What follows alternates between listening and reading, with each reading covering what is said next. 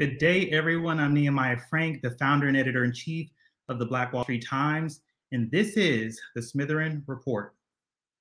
I named this weekly vlog after A.J. Smitherman, who was a pioneer of black news media in the early 20th century. He was the founder and editor in chief at Tulsa Star until it was burnt to the ground during the 1921 Tulsa Race Massacre. Some white Tulsans believe that A.J. Smitherman was a troublemaker, stirring up racial tension in his black owned publication. But to me, he was a hero. He fought white supremacy with the stroke of his pen and helped educate black people on the power of voting and reshaped public opinion. Today, we stand on his shoulders.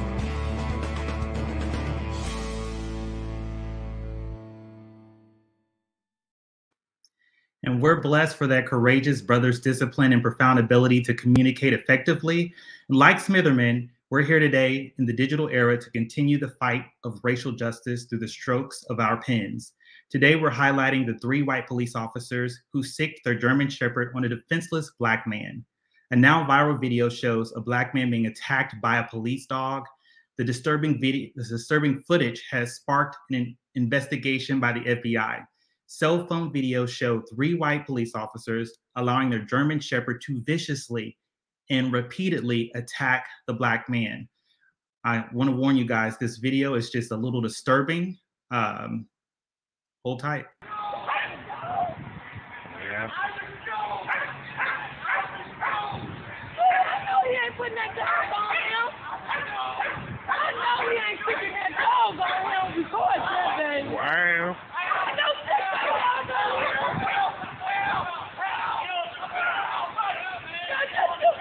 do that.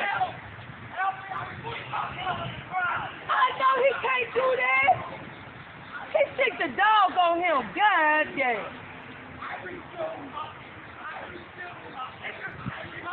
Don't let the dog bite him.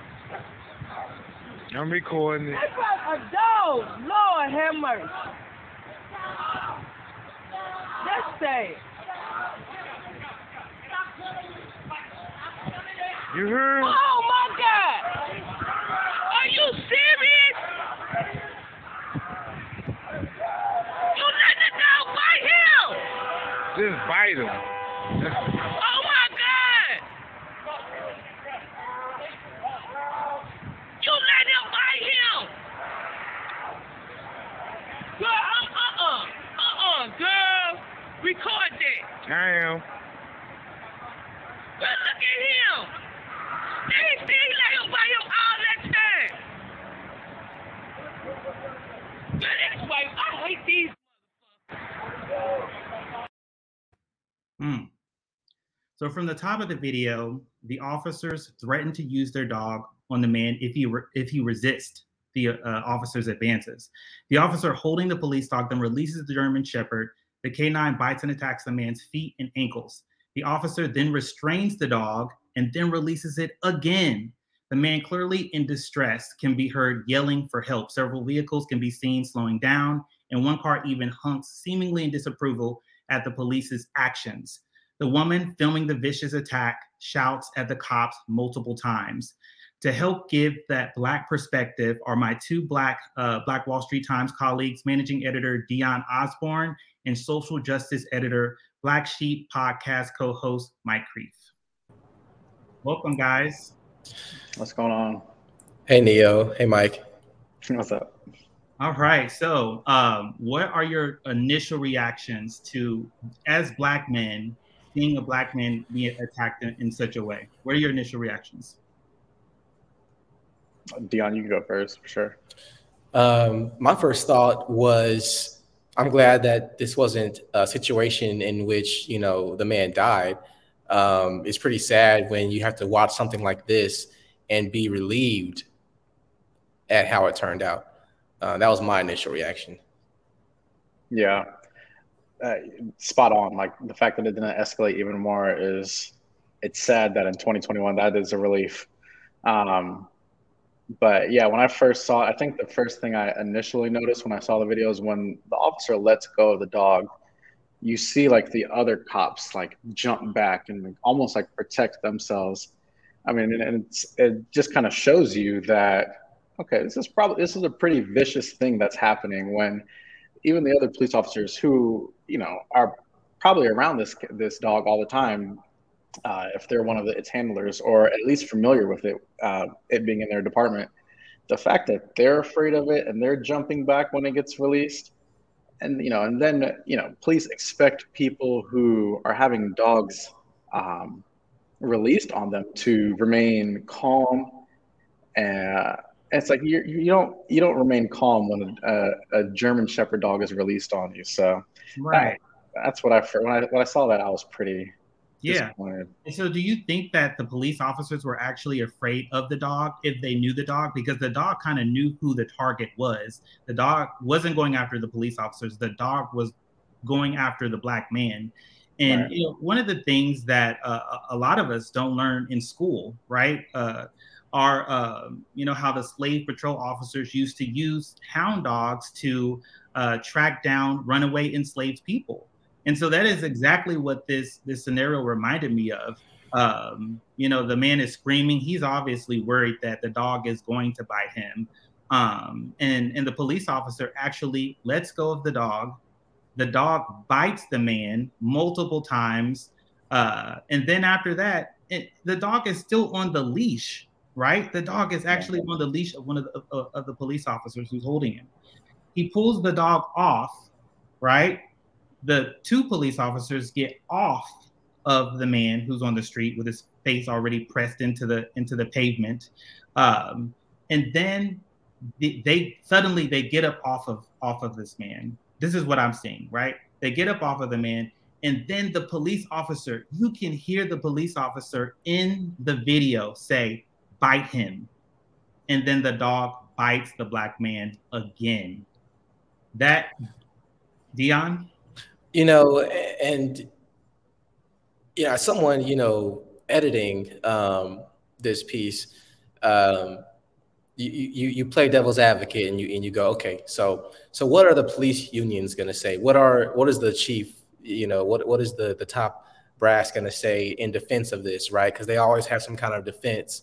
Um but even in this situation you know, the, the officer's own leaders didn't just automatically come out and defend his actions. You know, they acknowledge that it's under investigation. You know, so that right there tells you that there's an issue right there, uh, probably with their own protocol. But then one thing that really alarms me was, you know, what were we doing here? What was the goal? You know, if, if you're going to sick a dog on some, someone, which we believe the police shouldn't even be using because of its history with the slave trade, right Shouldn't the goal be to immediately apprehend the suspect, get him in handcuffs, and get him in the cop car as quick as possible? You said yourself, the video shows it. They sick the dog on him, they release it, and they're they're seemingly just watching, you know, like it's just entertainment. That's how that's the impression I got, that it was just entertainment for these guys. Absolutely. And you know, the sad thing about this situation is it, it comes on the uh, on the death of the George Floyd uh, Justice and Policing uh, bill.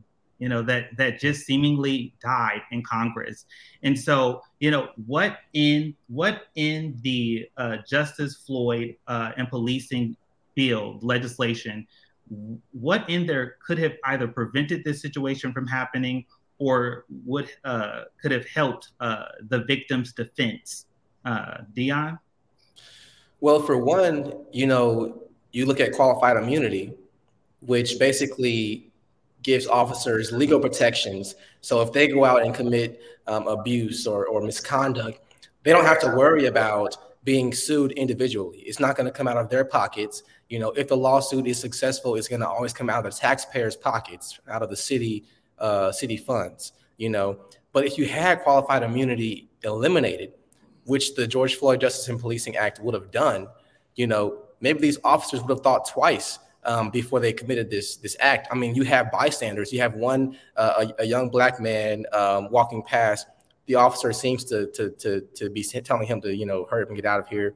You have a car. You have a car honk, and then after uh, the video keeps going, after uh, what, what we saw, you have another car that comes and is actually verbally arguing with one of the officers, right. and so it's just all around the optics don't look good. And if you had qualified immunity gone, I believe these officers would have thought twice about what they did. Absolutely. Um, we have a comment that just popped in. So, uh, the Steam Pal said, yes, hound dogs and how they would lead them to escape slaves to then be recaptured. And I mean, in a microsecond, second, that's literally what happened when the police officer pulls the dog off and then turns around and lets the dog go and says, Yeah. he says, bite him. And then that's when the dog attacks the man again. It, it is horrible.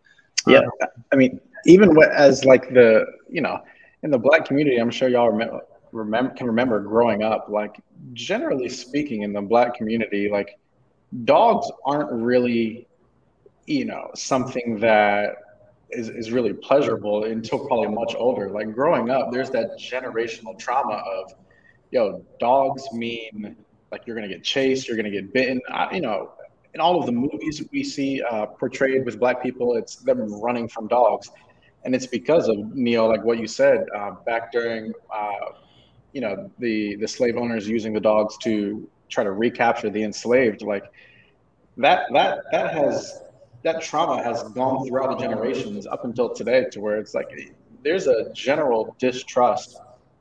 I mean, generally speaking, in the black community when it comes to dogs, and then you know you get this big old German Shepherd, this 80 pound dog. It's like, come on, man. Yeah, they know exactly what they're doing with that. It's interesting you say that because you know I have a dog. I, I think all of us, all three of us, have dogs, and um, you know my dog is just she's a little too nice. You know, sometimes I want her to bark at someone knocking on the door. You know, just to alert me, um, but she wants to just lick them, right?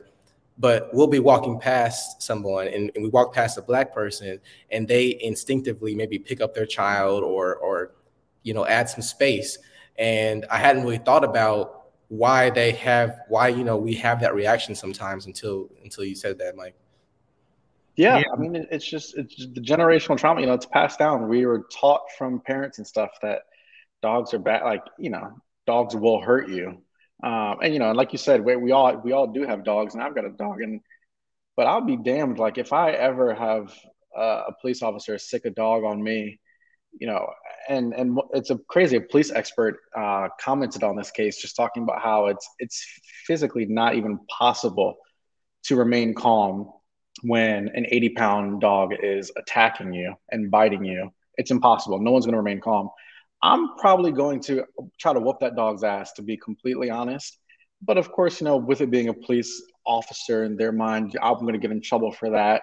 Um, but it's like, this is an animal literally that's trained to attack me and hurt me. And I'm just supposed to sit there and, you know, just take it. It, it doesn't make any sense. There, the justification for it to me doesn't make sense at all.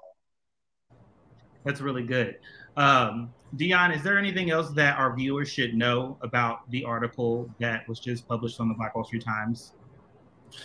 well i mean you kind of hit it there on the on the the hell the nail on the head mike um ksdk news channel 5 based in uh, st louis i believe they had interviewed an expert who he had over 30 years of experience with deployment um, training and handling of police canines specifically and they quoted him saying it's virtually impossible uh, to to just sit there and take that and just let someone calmly put you in handcuffs. They had several opportunities in that video to put him in handcuffs, and they chose not to. Um, and so I think it's really important for our readers to understand that the George Floyd Justice and Policing Act, uh, its failure to pass, is going to have a profound effect on on these cases uh, continuing. And and and you know, luckily, no one was was uh, was killed.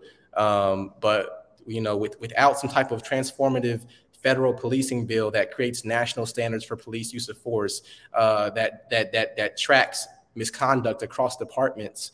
Um, you know that bans the use of chokeholds and and and and and the use of of of, of deadly restraints. You know, we're going to continue to see these kinds of videos, um, and so it's just it's I don't I don't really know what to to say else about it. Um, it's a shame.